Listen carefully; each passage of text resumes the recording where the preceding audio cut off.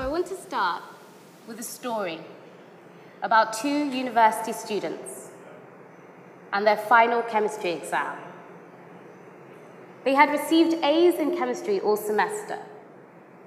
But on the night before their final exam, they went partying in another state. And they didn't get back to school until the exam was over. They had to think of a legitimate excuse.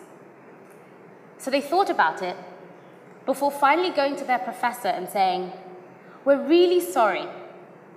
We went to visit some friends last evening, and we would have made it back in time, except for the fact that we had a flat tire. Can we please sit a makeup test? The professor thought about it, eventually agreed, and wrote out another test for them. When the time came for them to take it, she sent them to separate rooms. They sat down and turned the page to the first question. Easy, they thought. Then they turned the page to the second question.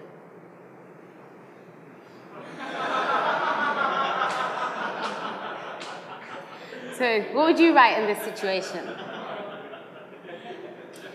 It was stories like this that got me into game theory. I'm a software engineer at Pivotal Labs in London, and I've been mainly working on their Cloud Foundry platform, which is a platform as a service. And I found the cloud domain challenging to grasp. And for me, I found that when I don't understand something, it's very helpful to be able to frame it into concepts that I'm familiar with. And for me, that was game theory. I studied economics at university, and game theory was one of my favorite modules. Through my readings, I've discovered how game theory can provide simplicity and clarity in what is a complicated space. And we'll explore this by discussing a simple problem. So first, we're going to have a brief introduction to game theory. Then I've got two games for us to play. The first one looks at bargaining, and the second one, an auction scenario. Then we're going to look at how these simple examples have led to interesting real-world case studies before it'll be time to wrap up. And by the end, I hope to have shown you that not only is game theory a useful tool for working with distributed systems, but by using game theory, you can discover how you can efficiently allocate resources in systems that you go on to build or work with. So let's begin with more about game theory. Game theory is the study of strategic interactions between rational agents and applications include economics, politics, biology, and computer science. It was developed by John von Neumann and Oskar Morgenstern in the 1940s, with many other scholars developing it extensively in the 1950s onwards. One such notable scholar was John Nash, who was sadly killed with his wife Alicia last month um, in a car accident in New Jersey. So game theory applies to a range of games and interactions, and we typically see it applied to behavioral scenarios. But despite its breadth, all games, no matter how complex, have some basic components. So what is a game? There are at least two players. Each player has a set of strategies based on the information they have and the actions they can take. And there are payoffs to each player for every possible outcome. So we're going to look at games that help us solve a load balancing problem. So we've got a distributed system of two computers, A and B. And we have a scenario where jobs are being sent into a task distributor, which then has to decide how many jobs to send to each computer. So let's look at our first game, bargaining. One afternoon, you're walking along the street with your friend Gemma, and you come across a bag of sweets on the floor. You both want the sweets, and so now you have to negotiate as to how you're going to split them up. Bargaining theory attempts to give a precise answer as to how you will eventually divide up those sweets between you.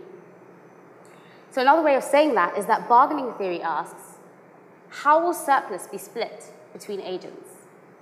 So in this case with sweets, there's surplus to be gained from acquiring some sweets. And the maximum surplus that you can get is equivalent to you getting all of the sweets and Gemma getting none. So one way of answering this question is to look at something called a Nash bargaining solution. So you can plot a chart showing all the different possible payoffs depending on how the sweets are divided up. And the outer edge of the payoff set represents all the possible combinations where the full surplus is extracted. So this means that all of the sweets are divided between you and Gemma. And anywhere in the purple area means that after you split up the sweets between you, you've left some behind on the floor. On the axis representing Gemma's payoff, we have the case where Gemma takes the whole bag of sweets. And on the axis representing your payoff, we've also got the case where you take all of the sweets. We find something called the Nash bargaining solution point on the frontier of the payoff set, where both you and Gemma have a higher utility than if you'd not had any sweets, but there's nowhere else in this payoff set where you can increase the payoff of one of you without decreasing the payoff of the other. So in this example, I'm assuming that yours and Gemma's payoffs are linear and the same with respect to the sweets. So this means that an additional sweet, or two or three, in your pockets represent identical payoffs or identical happiness. But often in game theory, examples are more complicated, and the frontier tends to be curved, not straight. And this represents the fact that agents typically have nonlinear and differing responses to marginal increases or decreases to whatever is being bargained for. But in this case, we'll assume linear payoffs, and that means that the bag of sweets will be split in half. So this is all well and good, but you're wondering, what has distributed systems got to do with this? So we can use bargaining theory to think about how resources should be allocated within a distributed system. So in a system where some computers are heavily loaded and others have a lighter load, we can have cases of poor system performance, and we want to mitigate against that. So let's return to our distributed system of two computers that need to work together to complete some tasks. So how do we model this? The players are the computers. Each computer has a different processing rate, and we know this information from the beginning of the game. Each computer's strategy is to accept a pre-agreed number of incoming jobs. And the payoff to each computer is related to their final load. And we assume that computers with lighter loads are better off. So we've got two computers, one that can handle a maximum of five incoming jobs every second before it crashes, and another one that can handle two. And together they need to deal with four jobs every second. So here's what's happening. Four jobs are fed in from a main computer. Alongside this, a certain number of jobs are sent to computer A and a certain number of jobs to computer B. And we want to know how many jobs should each computer agree to accept in this bargaining game. We want to distribute the jobs in such a way that optimally minimizes execution time. And what do I mean by optimal? I mean that once we've come up with the job allocation, we cannot reallocate the jobs in such a way that the performance of at least one computer is not worsened and the overall execution time increases. So how do we break this down? We assume that each computer has a payoff function, or we can view it as happiness. And in this example, I'm going to say that that is equal to log of x minus y, where x is the computer's processing rate, and y is the rate of jobs arriving at the computer. Now, don't worry too much about the log function. It's just more of a way of saying that as more and more jobs arrive at a computer, the response time to complete those jobs increases exponentially. So here's what that looks like for the computer that can handle five jobs every second. If I'm the computer, from my point of view, I'm happiest when I can sit around and not do any work. I know I have to do some, but I want that to be as little as possible. And as the amount of work you send me increases, I get unhappier and unhappier. But the fewer the number of jobs I have to complete, the shorter the time it takes for me to complete them, therefore, the happier I am. So we want to find the maximum of a function that looks like this. And this is what you get when you take one of those happiness functions for each of the computers, substitute in their processing rates, and add it together. And we have the constraint that the total number of jobs arriving at each computer has to equal 4, as stated in the problem. So if you have to plot that on a graph, you get something that looks like this. And we want to find the point up here where happiness is greatest in the system. So when we solve for that point, we get that the number of jobs to send to computer A is 3.5. meaning half a job should be sent to computer B. So here's what that looks like.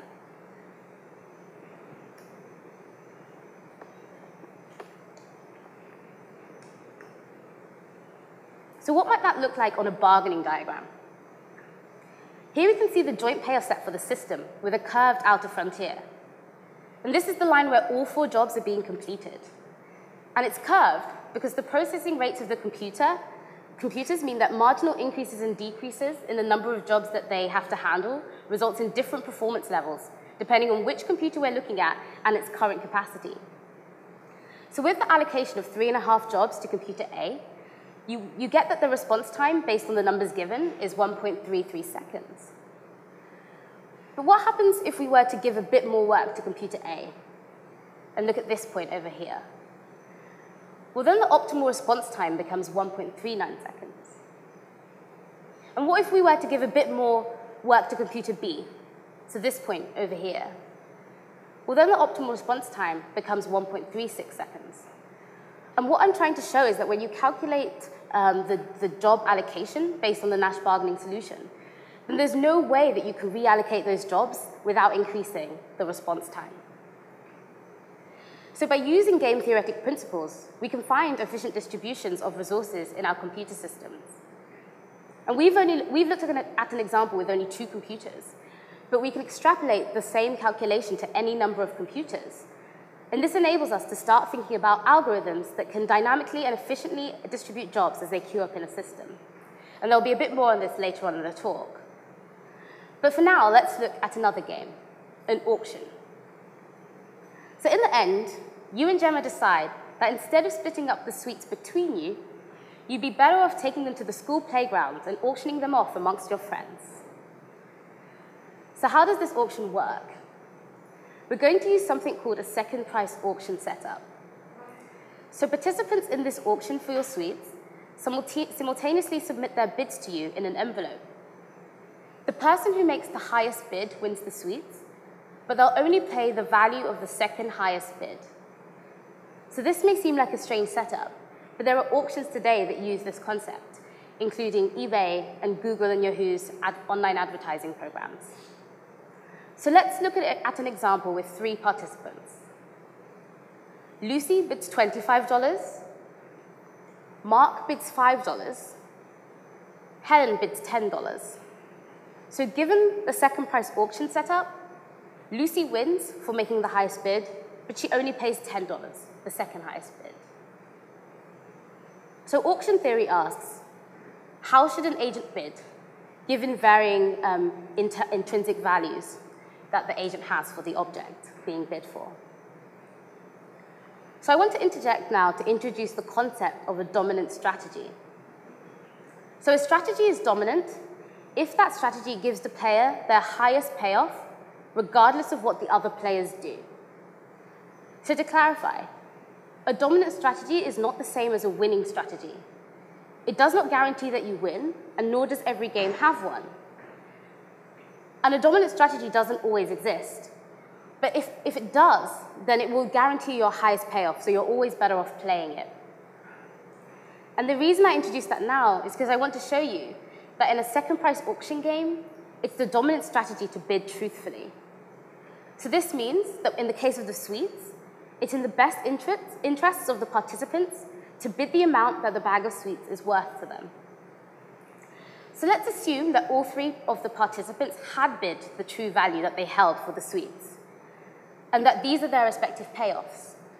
Zero if you don't win the sweets, and the true value that you hold for the sweets minus the second highest bid.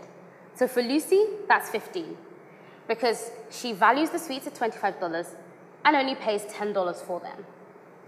So the way a second price auction is set up there is no way that Lucy, Helen, or Mark could have rebid such that their payoff improves. So let's focus on Helen. She's come second in this auction. There's no point in her bidding any lower than $10 because she'll still be losing. And any bid up to $25 again makes no difference. But what if she had bid $26 to move her into a winning position? Well, then her payoff becomes minus $16 because Helen only values the sweets at $10 in reality, but she has to pay $26 for them. So there is no other bid but her true value of $10 that makes sense for Helen. And this result is true for any participant in a second price auction. So we can use auction theory to reveal the resource capabilities of machines within a distributed systems. Sometimes there are cases where the, the, the computers are owned by self-interested agents, and any load allocation algorithms are um, vulnerable to manipulation. So how can we model this? Again, the players are the computers. Each computer has different capabilities, which this time are only known to the computers themselves. And each computer's strategy is to announce a bid. So in this case, a bid is going to be a statement about what capability that machine has. So for example, a computer can have a memory of 10 gigabytes, and so an honest bid would, be represented by the number 10 in this example. And the payoff to each computer is related to the result of the auction. So again, we've got two computers, computer A with 15 gigs of memory, and computer B with 10. And they're going to enter an auction to win the prize of running a set of jobs on their machine. Computer A will submit its bid in the form of bid A, and computer B will submit its bid in the form of bid B. And these bids are going to take the form of a statement of how much memory the computer has.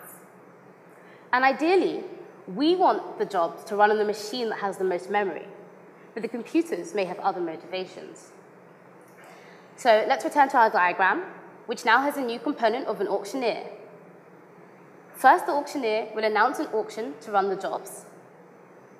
Each computer will then submit their bids to the auctioneer, and after receiving the bids, the auctioneer selects the winner and communicates the results to, to the task distributor, who then sends the incoming jobs to the winning machine. Now, there's also something else going on behind the scenes. The computers are programmed with payoff functions that mimic the second price auction setup. So let's look at what this means. So this is a rather abstract example, and it's independent to the one we looked up earlier. And for now, we're going to ignore the burden on the machine of any jobs, jobs that it, it eventually runs.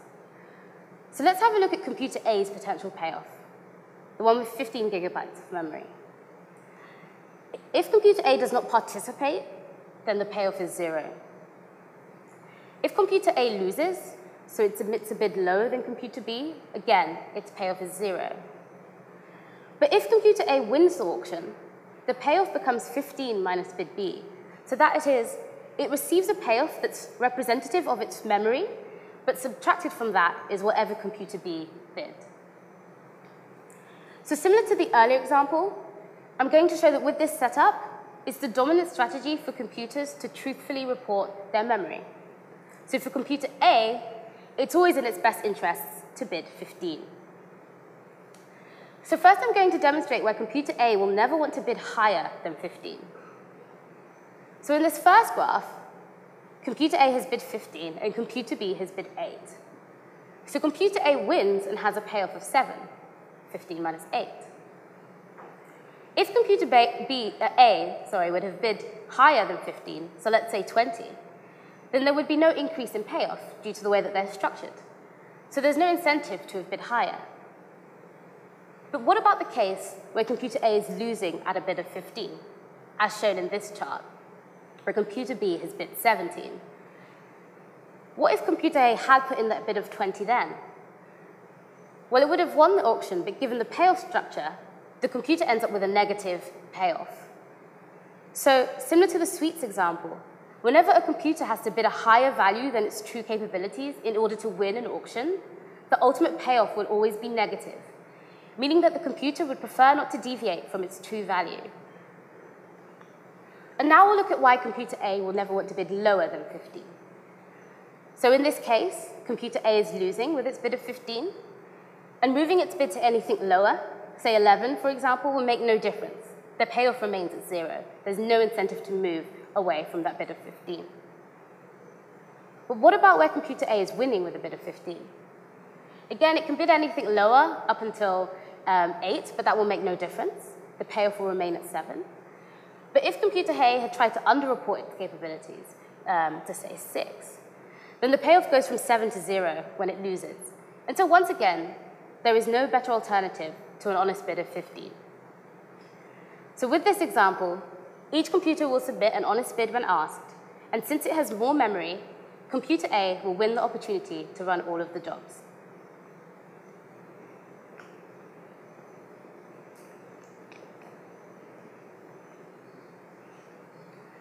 So what does this result show us?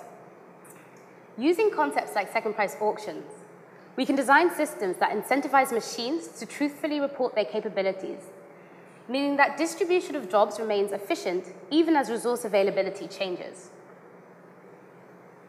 So, so far we've looked at a couple of examples and made quite a few assumptions. For example, we've assumed that all jobs and tasks considered are the same, but how can we distinguish between one-off tasks or long-running processes? And what about things such as deadlines or wanting certain jobs to run on the same machine?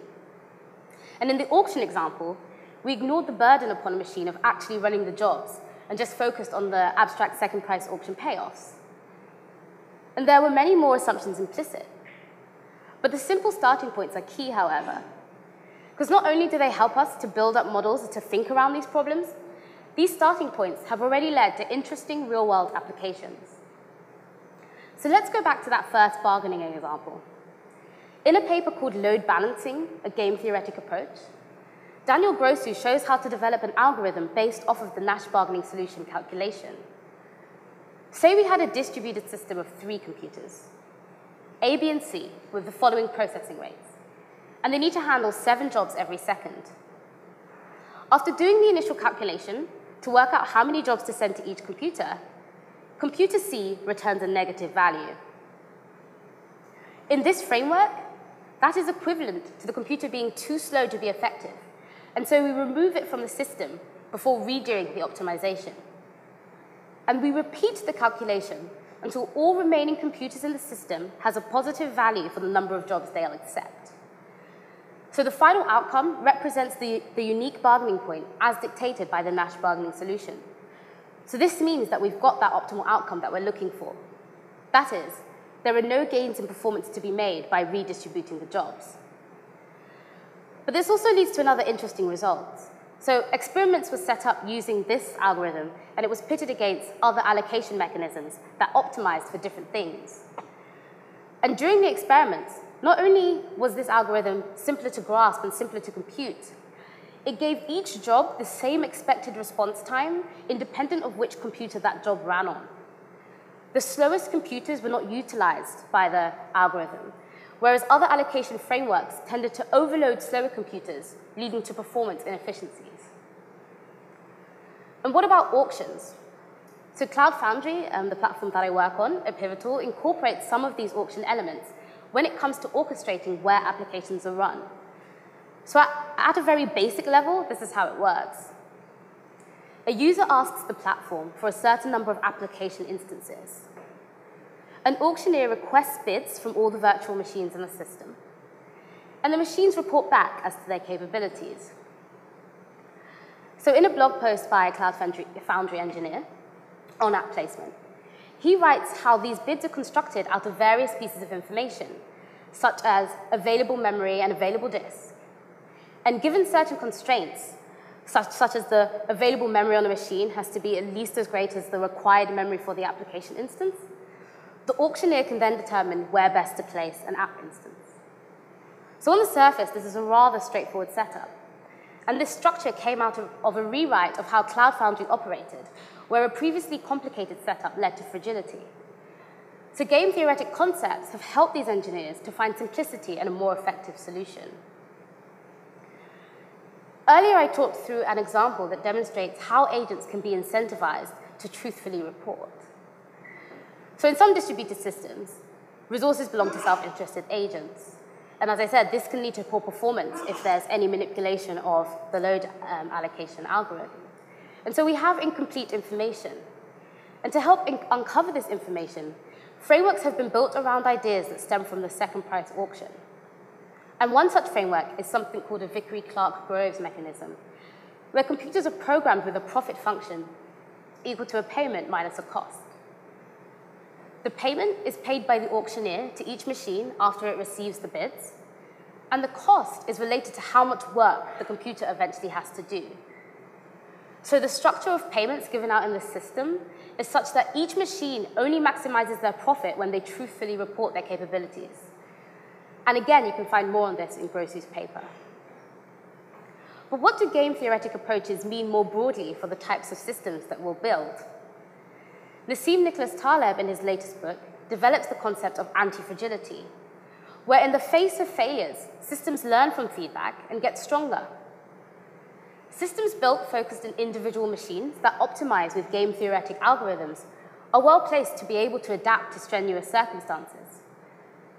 If a machine goes down or there are network partitions, the algorithms in the system can dynamically update and reallocate jobs where necessary. So they may be able to demonstrate some of these anti-fragile characteristics. So now it's time to wrap up. What are the specific results that we've looked at today? When we know the capabilities of the machines in a distributed system, we can use things such as the Nash bargaining solution to help us determine how we should allocate those resources. And when we don't know the capabilities of the machines, and we need to know them, then frameworks built around second price auctions can be really helpful in terms of revealing what those capabilities are. So in some ways, computers are similar to humans, in that they can often behave in ways you don't expect. And when you're dealing with uncertainty, you need ways to clear away the noise. And this is where game theory becomes very handy. You don't need maths to use game theory as a tool to understand complex issues. As a starting point, just think about how you would model parts of your system as a game and what contracts or competition need to happen between the components. And for the mathematical out there, it opens up a world of interesting, simple, yet powerful algorithms to help us produce better performing systems. So what can you go and do now? You can start by reading this book. It doesn't really look like it, but it's essentially an introduction to game theory, filled with stories from a range of areas spanning from football to war strategies. And when reading, think about how the examples may relate to different computer setups. There were many other types of games that I didn't touch on, so perhaps if you're interested in cloud security, you can find some interesting parallels to draw with non-cooperative game theory. Maybe you're interested in clustering. You're perhaps working with a database like Cassandra. Well, evolutionary game theory will have some interesting results for you. And maybe you're interested in the platform as a service landscape. Well, then coalition theory can help with that. If you want to dig deeper, these are some of the, the sources that I used to help me write this talk. And one final question remains. Would you like to play again? Thank you.